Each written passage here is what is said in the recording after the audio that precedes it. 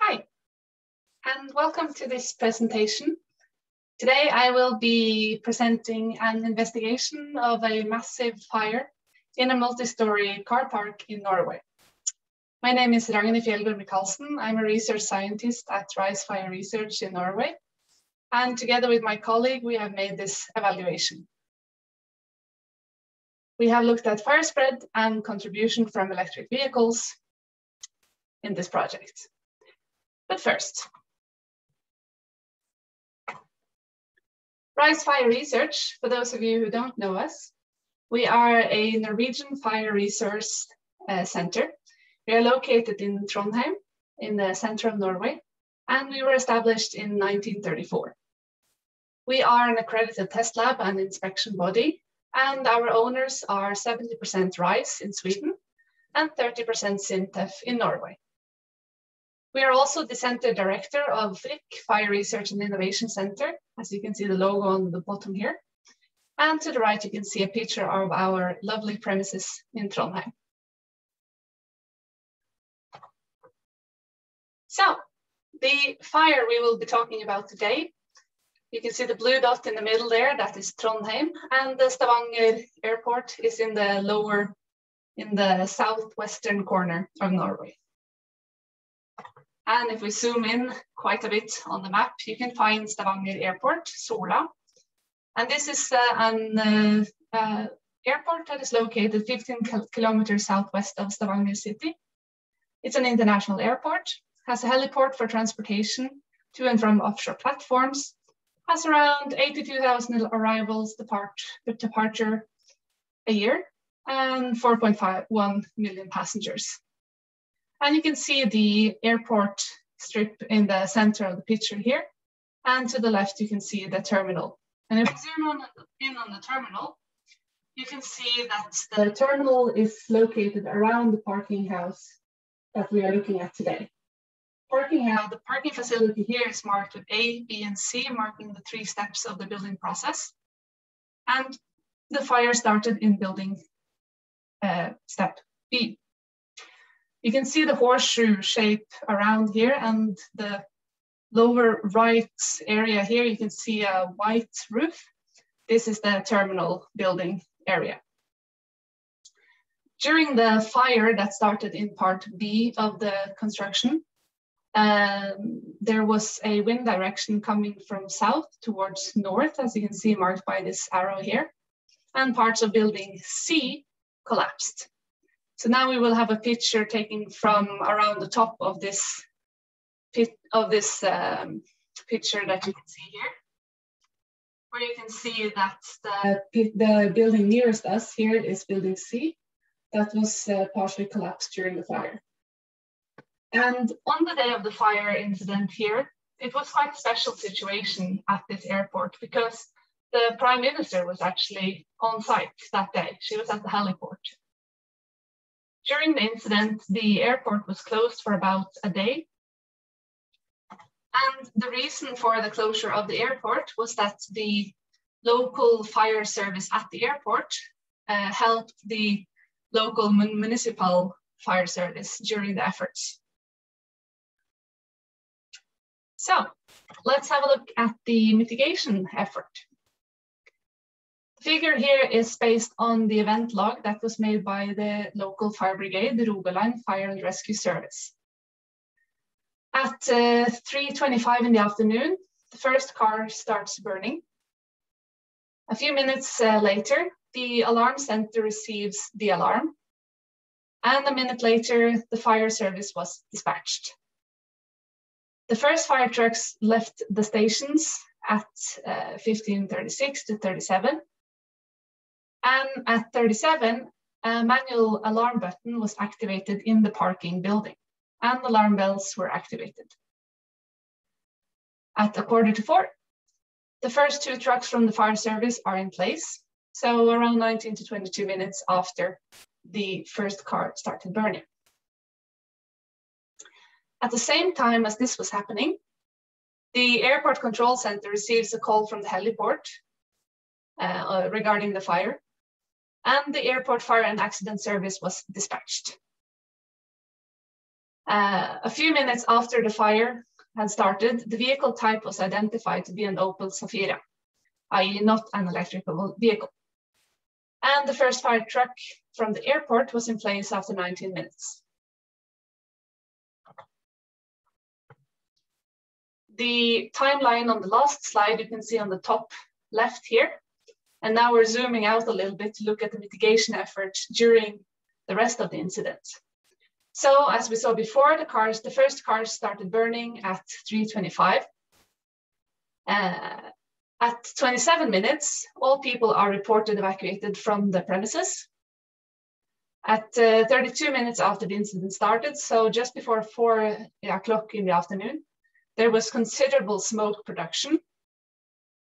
And after this, uh, 40 minutes after this, uh, there was a message uh, via the police that the building can collapse because of high temperatures observed. At 447, all units were told to exit the building and all units, yeah, all units were told to exit the building. And uh, just after five o'clock, parts of the building starts to collapse. And at 5.20, building three or building C that we saw before collapses. Uh, so this was in the afternoon on the 7th of January. And it, during the night until 8th of January, there was still a fire in the building and plenty of smoke at uh, 1.30 in a.m. in the morning or in, at night. And the next afternoon, the fire services returned to the station. And on the 9th of January at 12, there was observed some smoke coming from the third floor and some heat from the collapsed part.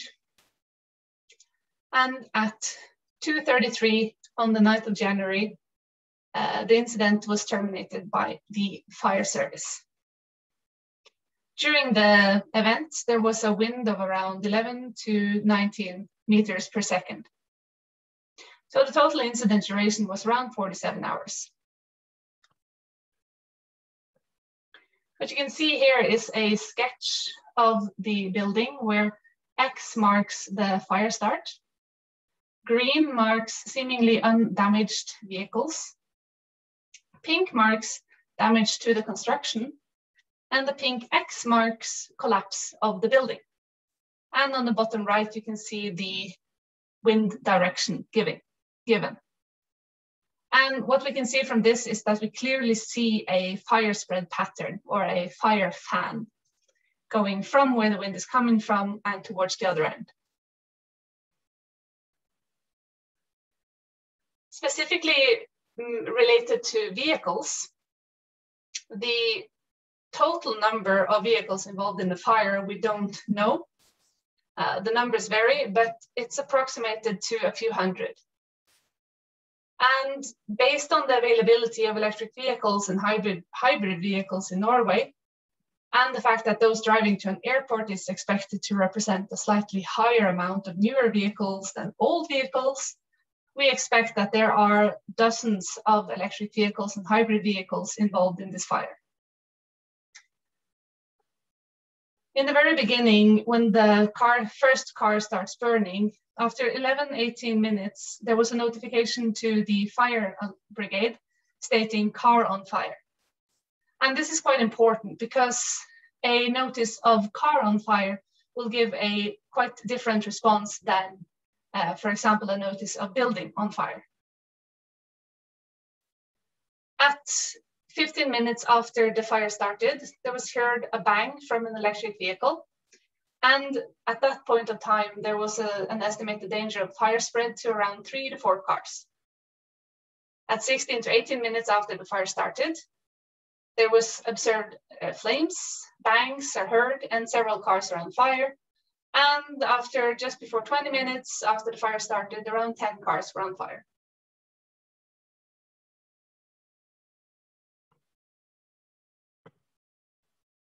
Here you can see some pictures from after the fire. And yeah, what caused the fire to spread so rapidly? Well, during the fire, it was decided to change extinguishing tactics from using water to using foams. And it's not logged exactly when this decision was made.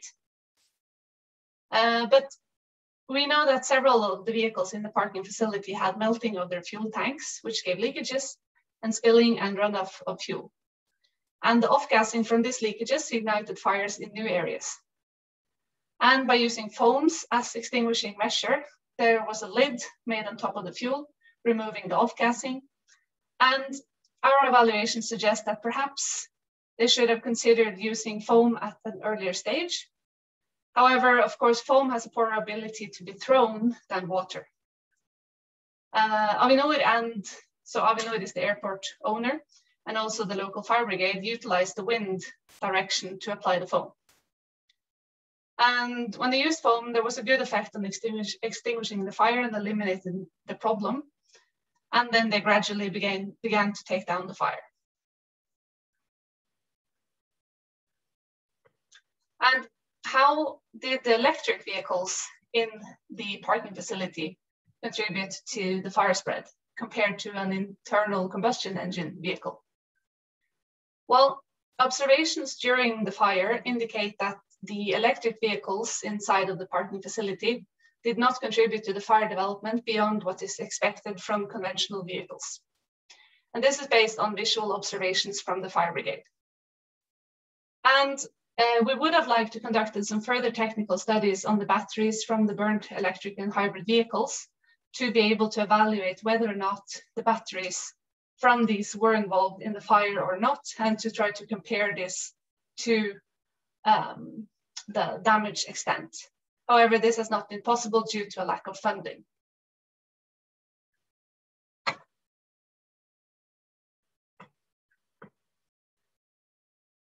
So when it comes to handling, which fire protective measures were in place and what uh, was the effect of this? Well, here you can see a picture from the very start of the fire where the first vehicle is on fire. And so the question was, could other fire protective measures have led to a different outcome? So there was no direct alarm to the alarm central, and it therefore took actually eight minutes before the alarm central was notified. There was no uh, active fire safety measures, such as, for example, extinguishing systems, and handheld extinguishers were not used during the initial phase of the vehicle fire. The owner of the vehicle that started burning, uh, as I understood, uh, they had quite a few children with them, and so they prioritized to evacuate rather than to start um, extinguishing measures. Uh, during the evaluation, we found that there was a lacking incident action plan for the specific object here. Uh, and this made it challenging to access for large vehicles. It was also challenging to find the fire hydrants um, they were connected to a private water system and therefore cannot automatically be located in the locating system of the fire service. And there was a long distance to the fire within the building from where the fire brigade was able to be localized on the outside, uh, especially during the beginning of the effort. And so the first smoke divers who entered had a regular hose length of 50 meters However, the distance to the fire was actually 60 meters. So they lost quite a lot of time here with having to go back and forward um, to depressurize the hose and lengthen the hose by 25 meters.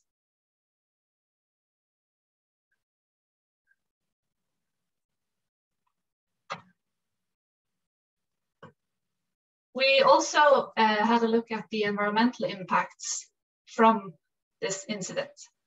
So what you can see in the picture here is the airport area. The uh, dotted uh, area is the uh, parking facility, the terminal, and some of the close by facilities. You have a sparsely populated area to the north, and you have a densely populated area, in at least in Norway scale, to the right. To the or west of the uh, facility, you have the Solastrand Nature Reserve, and you also have a water cleaning park that collects all of the any runoff water from the airport area, goes through a water cleaning park, and then you have the outlet to the west of this again. So during the incident, there was a lot of extinguishing foam used, but we found that this led to a limited environmental impact. Based on chemical analysis conducted by COWI, um, it was found that the extinguishing foam did not add substantial amounts of PFAS during the extinguishing effort, but uh, the chemical analysis still showed PFAS content in all water samples, and this is links, linked to previous emissions at the airport. It was documented that there was an oxygen depletion as a result of extinguishing foam release, and this is considered to have led to a local toxic effect in the aquatic environment in the Solastrand Nature Reserve, but not have a general negative impact on sea life in Solavika. But what we saw from gathering the documentation as part of this evaluation is that there is definitely a need for a stronger awareness of and focus on the use of extinguishing foams and to log the amount of foams used. And this is, for example, a requirement as I understood it from Sweden, but not in Norway. So here we should learn from Sweden. When it comes to the environmental impact of smoke, uh, during the early phases of uh, the fire, smoke from the fire was mainly not driven towards the terminal buildings lying uh, to the east, south, and west, since the smoke was going mainly northbound. Uh, but the fire smoke did affect the evacuation of a nearby hotel to the north. Eventually, however, the wind turned in the direction of the more highly populated area to the east of the incident, and the population warning was sent out. Uh, but we see that there were quite, there were not many health consultations. There were 11 people sent to the emergency room and two in hospital. And uh, also based on the municipality's assessment of the incident, we think that the fire smoke had quite a limited health impact to the neighbors. And when it comes to which pollutants were in the smoke and so on, this has not been analyzed in this evaluation.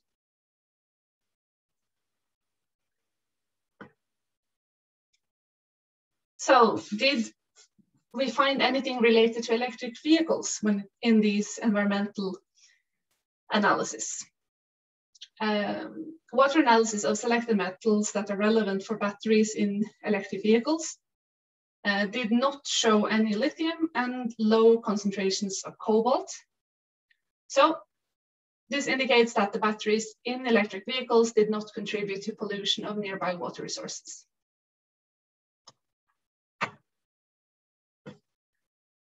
When it comes to the fire safety design and Norwegian building regulations, Norway has a performance-based building regulation and parking garages with more than one floor is placed in risk class two out of a total of six risk classes. And we have four different fire classes. And this building was placed in fire class three. However, the regulation states that fire class four should be used if uh, a fire, an incident can have particularly large fire consequences for life, health, environment, or society. And under society, we find infrastructure and airports. And this fire class, if it should have been in fire class four or fire class three, has been a big discussion point in Norway after this fire.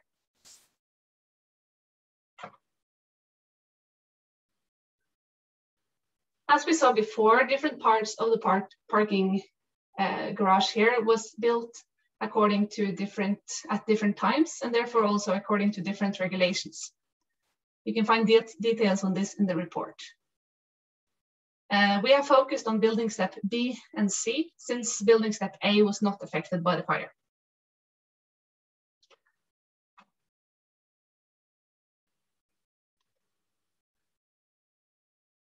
And what is interesting here, you can see a picture here from the side of building step B and building step C. It's interesting that these buildings are designed using more or less identical fire safety design, um, but the execution is quite different. And so uh, it is quite important to avoid uncritical reuse of content from older fire engineering concepts when designing a new building.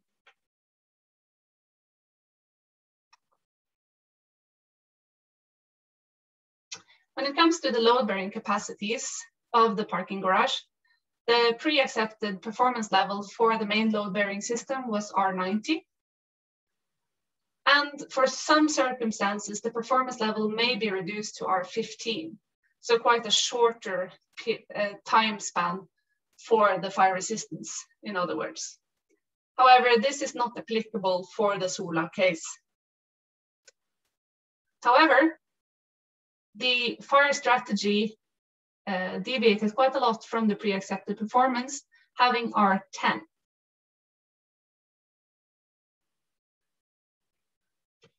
When it comes to sectioning, here you can see an overview of the maximum area per floor in square meters allowed without sectioning for different expected specific fire loads. And the relevant area for this building is marked by this red square. However, the actual floor area was quite a lot larger. So what have we learned altogether from this incident? We found that the fire design had shortcomings when it comes to load bearing capacities and sectioning, and possibly also when it comes to extinguishing systems we see that it's quite important to have a holistic philosophy when it comes to safety. And by this, I mean, there were quite a few contradicting arguments in the fire safety uh, philosophy here. And it sort of shows that an overall or holistic approach was missing. For example, the size of the car, car park was used as an argument for fire alarm systems. But at the same time, it's argued that a fire will not spread to other vehicles, causing reduced load bearing capacities. So yeah, uh, try to avoid uncritical reuse of content from older fire engineering concepts. It's quite important. We also see that the Norwegian regulation reg regarding wall openings need to be revised and that there is a need for an evaluation on how the degree and geometry of openings can affect the fire development. A fire parking garage of this kind, when it's located so closely to key societal infrastructure, cannot be just seen as any car park standing alone on a uh, yeah a field uh, you have an adjacent infrastructure and therefore you must consider the consequences uh, for an adjacent infrastructure and buildings. And we found that the multi-story car park should have been placed in fire class four because of its proximity to key infrastructure. And we see that sometimes when regulation changes are made, changes are not necessarily emphasized by the authorities, so it can be a little bit difficult to navigate. So we recommend that higher emphasis is made on which changes are made from one regulation set to the next. When it comes to conclusion and learning points for other aspects, there is quite a lot in our report regarding learning points from the firefighting efforts. So please have a look at the report on the next slide if you want to have a look at that. And when it comes to electric vehicles, observations during the fire indicate that electric vehicles did not contribute to the fire development beyond what is expected from conventional vehicles. And we saw that there was limited environmental impact from the fire, from the extinguishing foam, and also from the smoke. There are two reports uh, one in Norwegian and one in English, available at risefr.com slash publications. So please have a read there if you are interested in that. This presentation here is a part of FRIC Project 1-2, Learning from Fire Investigations. And FRIC is funded by the Research Council of Norway as well as FRIC Partners. And with that, I would like to thank you for your attention. And uh, yeah, welcome to ask questions if you have any.